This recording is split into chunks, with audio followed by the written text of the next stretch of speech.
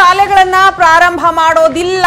ಪೋಷಕರ ಅಭಿಪ್ರಾಯದ ಮೇಲೆನೆ ಪ್ರಾರಂಭ ಅನ್ನುವಂತಹ ಸ್ಪಷ್ಟ ಮಾಹಿತಿಯನ್ನ ಈಗ ಸಚಿವರಾದಂತಹ ಸುರೇಶ್ ಕುಮಾರ್ ಅವರು ನೀಡಿದ್ದಾರೆ. ಜುಲೈ ಒಂದರಿಂದ ಶಾಲೆಗಳ ಪ್ರಾರಂಭ ಮಾಡೋದಿಲ್ಲ. ಪೋಷಕರ ಅಭಿಪ್ರಾಯ ಅತಿ ಮುಖ್ಯ ಆಗಿರುತ್ತೆ. ಹಾಗಾಗಿ ಪೋಷಕರ ಅಭಿಪ್ರಾಯದ ಮೇಲೆ ಶಾಲೆ ಪ್ರಾರಂಭದ ನಿರ್ಧಾರ.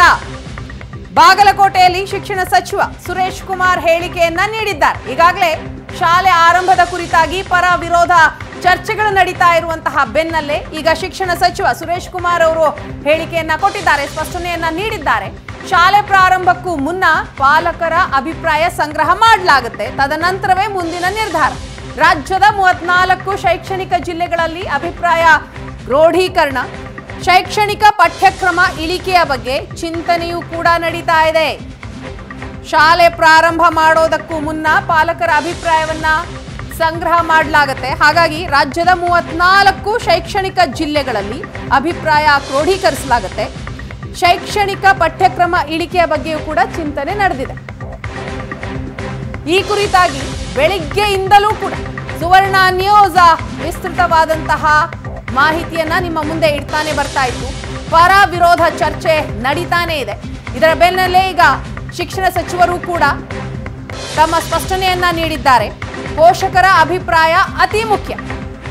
ಪೋಷಕರ ಅಭಿಪ್ರಾಯ ಸಂಗ್ರಹ ಮಾಡಲೇಬೇಕು ಅನ್ನುವಂತಹ ಒತ್ತಾಯ ಸುವರ್ಣ ನ್ಯೂಸ್ ಕೂಡ ಮಾಡಿತ್ತು. ಒಂದು ರೀತಿ ಪೋಷಕರ ಅಭಿಪ್ರಾಯದ ಮೇಲೆನೆ ಶಾಲೆ ಪ್ರಾರಂಭದ ನಿರ್ಧಾರ ನಿಂತಿರೋದು. ಇದನ್ನ ಕೂಡ ಸಚಿವರಾದಂತಹ ಸುರೇಶ್ ಕುಮಾರ್ ಅವರು ಹೇಳಿದ್ದಾರೆ. ಹಾಗಾದ್ರೆ ಏನ್ ಹೇಳಿದ್ರು ಸಚಿವರು? ಕೇಳೋಣ.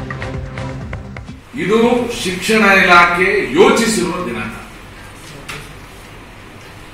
ಅದು ನಿರ್ಧರಿತ ದಿನಾಂಕ ಅಲ್ಲ. ಈಗಾಗಲೇ ಕೇಂದ್ರದ ನಮ್ಮ ಮಾನವ ಸಂಪನ್ಮೂಲ ಇಲಾಖೆಯಿಂದ ನಮಗೊಂದು ಪತ್ರ ಬಂದಿದೆ. ಮೂವತ್ತನೇ ಮೇ ಒಂದು ಪತ್ರ ಬಂತು. ಅದರಲ್ಲಿ ನಿಮ್ಮ ನಿಮ್ಮ ರಾಜ್ಯದಲ್ಲಿ ಶೈಕ್ಷಣಿಕ ಚಟುವಟಿಕೆ ಶುರು ಮಾಡೋದ್ರ ಬಗ್ಗೆ ನೀವು ಯೋಚನೆ ಮಾಡಬೇಕು. ಜೊತೆಗೆ ಇದು ಮಾಡುವಾಗ ರಾಜ್ಯದ ಪೋಷಕರ ಜೊತೆ ನೀವು ಸಂವಾದ ಮಾಡಿ, ಪೋಷಕರು ಮಾತ್ರ ಅಲ್ಲ ಸ್ಟೇಕ್ ಹೋಲ್ಡರ್ಸ್ ಅಂತ ಒಂದು ಪದ ಯೂಸ್ ಮಾಡಿದ್ದಾರೆ.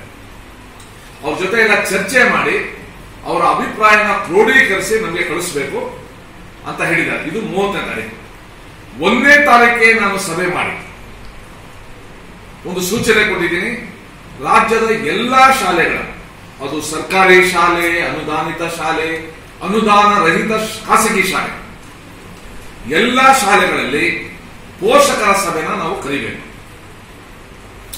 ಜೂನ್ ಹತ್ತು, ಹನ್ನೊಂದು, ಹನ್ನೆರಡು.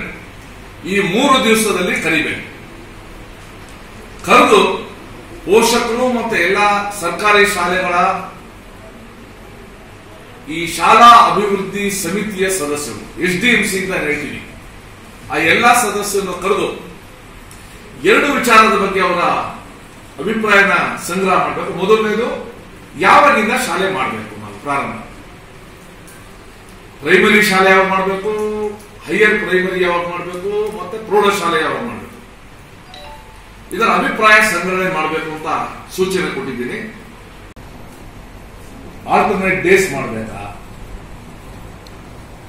ಸಾಮಾಜಿಕ ಅಂತರವನ್ನು ಉಳಿಸಿಕೊಂಡು ತರಗತಿ ಮಾಡೋದು ಹೇಗೆ? ಪಾಪ ಮಕ್ಕಳು ಆಟ ಆಡೋದು ಹೇಗೆ?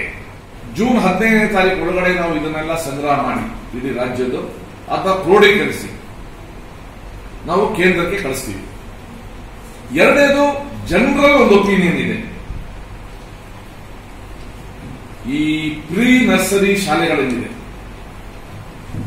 ಪ್ರೀ ನರ್ಸರಿ ಶಾಲೆ ಅಂದ್ರೆ L K G, U K G, first standard ಈ ಯಾವುದೋ ಮಕ್ಕಳದು ಪ್ರೈಮರಿ ಶಾಲೆದು ಸದ್ಯಕ್ಕೆ ಶಾಲೆ ಪ್ರಾರಂಭ ಮಾಡಬಾರದು.